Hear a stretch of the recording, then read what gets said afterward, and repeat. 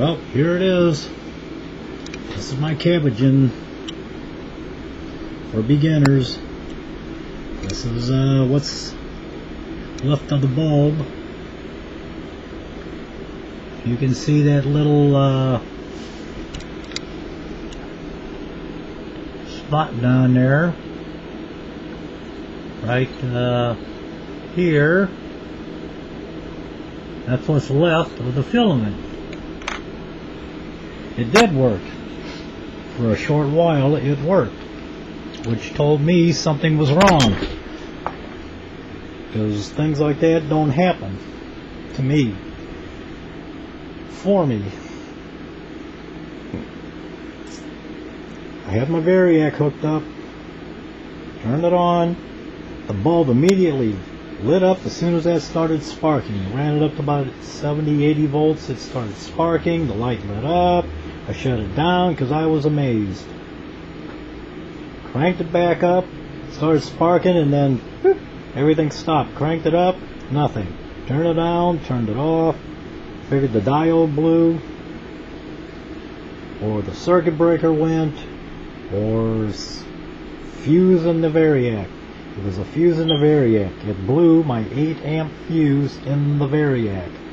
Put in a bigger fuse. Fired it up again started sparking, flashing, lights just bright. It's like a 40 watt bulb in here. It's only a 40, 50 watt. Started flashing and real bright and everything. Then it went dim and I looked in there. It's hard to look in before because it was so bright. And here it's arcing in there. So that didn't last too long. Thing is, with this setup,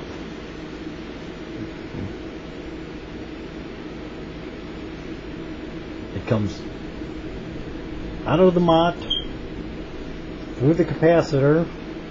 This diode gives you your DC pulses, and this other half of the transformer is grounded, and this other end of the diode is grounded. So you got one line running out that actually does the work to the ground. So it goes comes out of the transformer into the cap, out of the cap,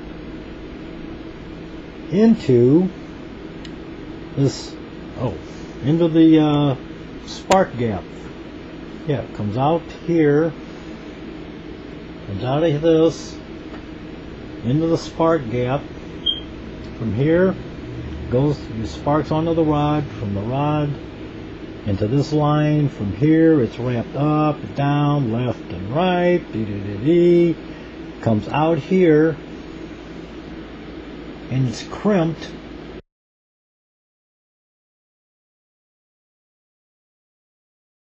onto this copper line right here the outer it's crimped on there that's what he said to do crimp it on runs through the coil comes out of the coil ends up here.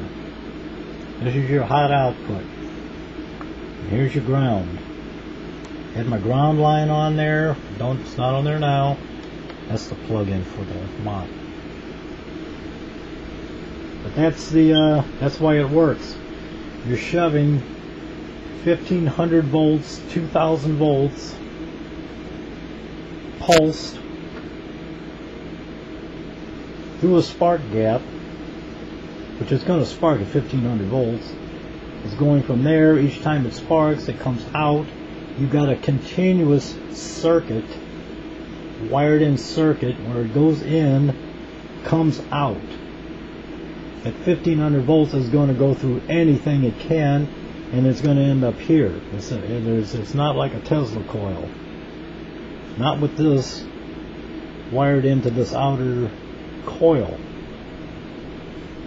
So it comes out, ends up here, there's your ground, put your load on there, boom.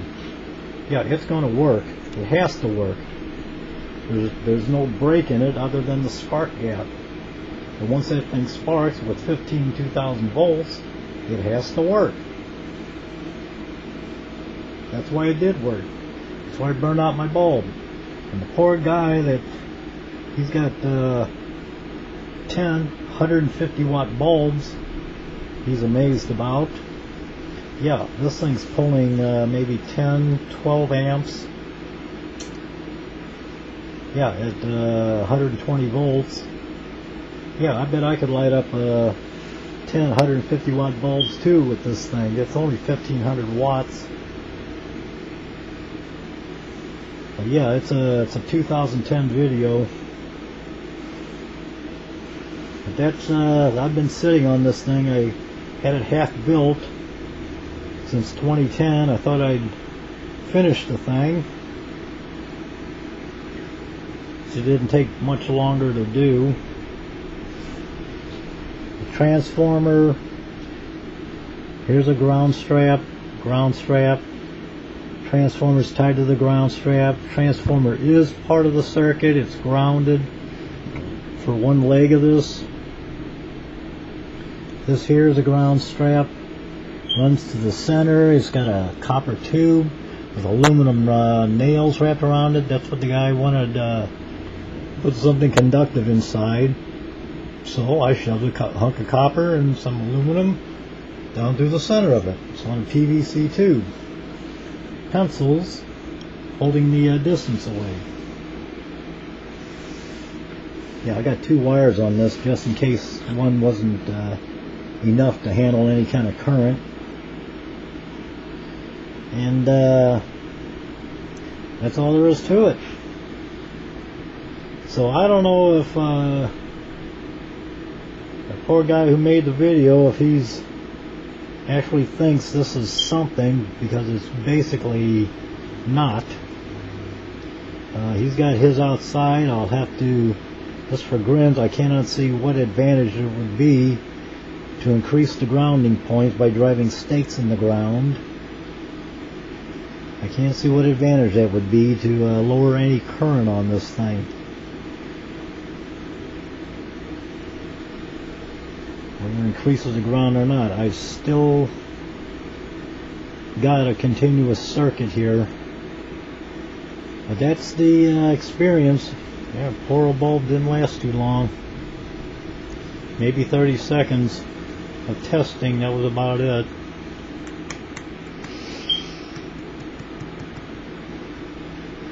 But that's it. I had a feeling something was wrong here.